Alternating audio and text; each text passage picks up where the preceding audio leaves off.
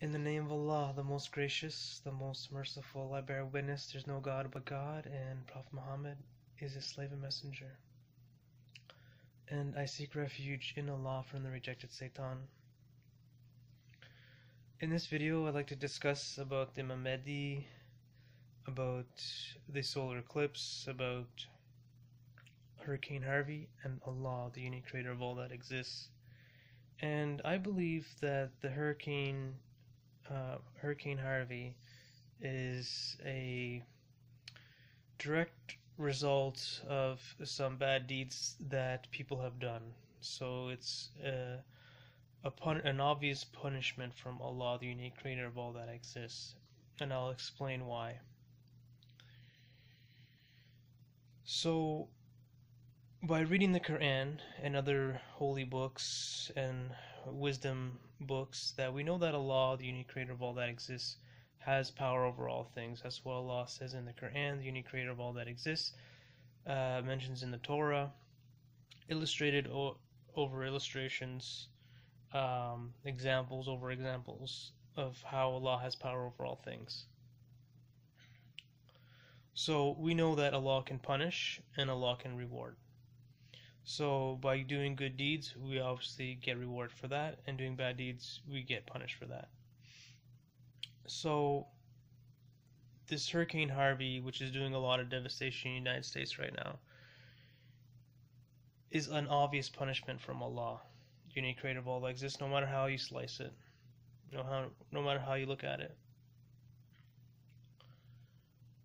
Now, what I believe was the the reason why that this hurricane um, created so much devastation was due to the solar eclipse. Now, not the solar eclipse per se, but how people were so um, almost worshiping this the solar eclipse by investing so much energy and so much like homage and so much like uh, good or bad omens that were going to come from this solar eclipse, that it was going to change things, it was going to, you know what I mean, and, and completely overlooking Allah, the unique creator of all that exists.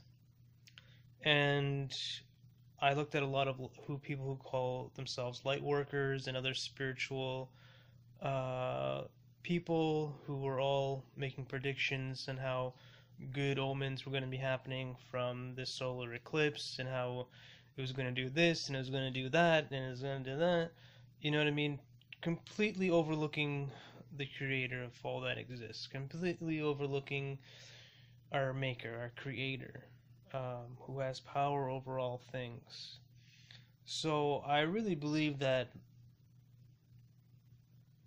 that this Hurricane Harvey is a direct punishment from the people of the United States worshiping this solar oh, solar eclipse. That millions went out and watched the solar eclipse. Um, so much hype was put into the sol- so, uh, solar eclipse, and so many good or bad omens uh, were predicted from the solar eclipse. And I listened to a lot of different people, and almost every so-called spiritual person.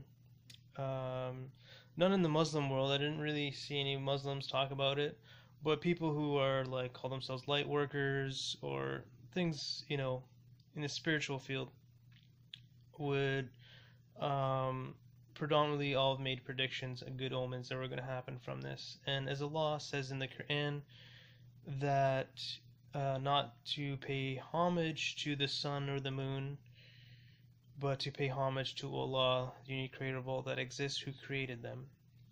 And um, Allah says other things too that people who predict good or bad omens from the movements of the stars and celestial objects are soothsayers, which means that they're fortune tellers. They're predicting good or bad future events through the positions and movements of stars and other celestial objects. So, people who are predicting um, these uh, this solar eclipse as a, a good omen, as a reset, this is all fortune telling. This is all BS. This is all, um, you know, not going to the not going to Allah, not not realizing that Allah has power over all things. Um, you know, even the leader of the United States went out, um, paid homage to the sun and the moon in this solar eclipse, and I believe it's a direct punishment to the United States um, through this um, hurricane. And there's another hurricane behind uh, Hurricane Harvey, which may or may not hit the United States. We'll have to see. I believe if the United States people repent and ask for forgiveness, that these um, punishments can be removed, if not lessened. So it's really important to realize that Allah, the unique creator of all, this, all exists, has power over things, not to look at celestial events um, in any significant importance that Allah says in the Quran that the sun and the moon He put in service for us. They're, they're, our, they're servants. Uh, put animals in this earth for, to serve us. And it's for us to be grateful to Allah um, that He put these things into service for us here. To be grateful but people in general weren't grateful. People were looking at this as an, a good or bad omen, uh, predominantly a good omen, and now they're being punished for it. Um, so that's what I believe is happening right now. Um, I also wanted to mention about the Mahdi. Um, one important thing to understand, to realize who the Mahdi is, is to know that he'll be the the Mehdi means the guided one. So if if someone wants to realize who the Mahdi is, we'll have to realize that he is the most guided one. Um, and the appearance of the Mahdi, which is foretold by Prophet Muhammad, peace and blessings be upon him, in the Hadiths in his physical attributes and characteristics. So a combination between seeing how guided he is and by the physical uh, characteristics um, and mannerisms of um, someone is the way to gauge um, a good way to gauge who is the Mahdi. So someone who's coming out with high level of knowledge um, gained through the Quran and other wisdom books like the Torah and um, things like that, and who has the closest connection with Allah, who is basically a representative. Uh, uh, of Allah on this earth to help guide humanity closer to Allah, the unique creator of all that exists. So that's my take on all that. Um, the people of the United States and worldwide really have to become closer with Allah, the unique creator of all exists. Do not pay homage to the sun, moon, or the stars, or the positions of the planets, or whatever that Allah has power over all things. He can make good things happen, He can make bad things happen. It's all up to Allah.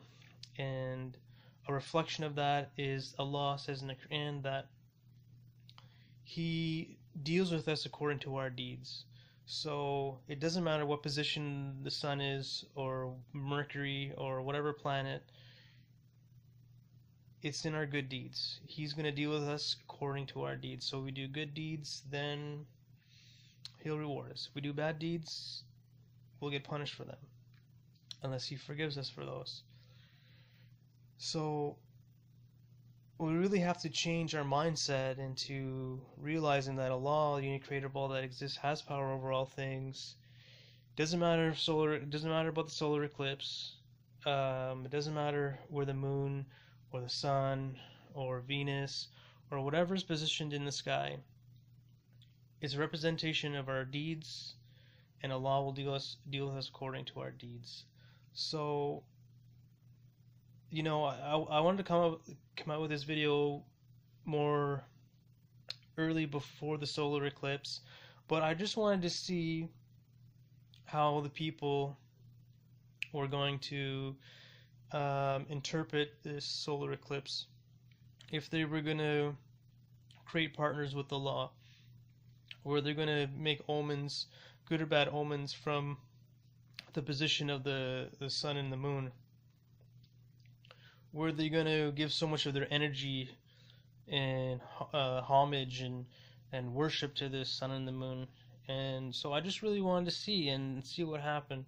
And now we see uh, Hurricane Harvey and a possible another big hurricane coming behind uh, Hurricane Harvey. So uh, United States is being punished right now for for its bad deeds, for associating partners with Allah, the unique creator of all that exists. So uh, they got a, a, a they're in a, in a, predicament right now. So I hope they get it and they'll they'll start worshiping Allah, the unique creator of all that exists. So um, it's really important to understand that and not give homage to celestial objects and you know instead of going out and looking at the sun uh, eclipse they should have been doing a prayer. They should have been doing something pleasing to Allah not paying homage to the sun and the moon. So it's going to be interesting um, in the next in about seven years from now there's going to be another solar eclipse over the United States and hopefully the Americans and the people of the world will uh, learn their lesson from this and um, not repeat the same mistake. So we'll see what happens in seven years, inshallah. And um, you know, don't don't pay attention to where the positions of the stars are. They're not going to affect uh, good or bad omens in your life. The only thing is through Allah, the unique creator of all that exists. Um, there can be some influences from different things, but uh, obviously Allah, the unique creator of all that exists, has power over all things. So the ultimate power comes from Allah. There can be some influences from this, that, and the other thing, but ultimately Allah has power over all things, and good or bad omens from the position of stars, moons, and other celestial objects have no credence on uh, good or bad things that will happen. So, like I said, Allah has power over all things. Allah has control of everything. Um, nothing happens besides the will of Allah, the unique creator of all that exists. So, uh, I can't really uh, um, say much more than that. Um, peace and blessings be upon us all. May Allah guide us and be true to Allah and worship Allah alone, the unique creator of all that exists. Take care. All the best. Peace and blessings.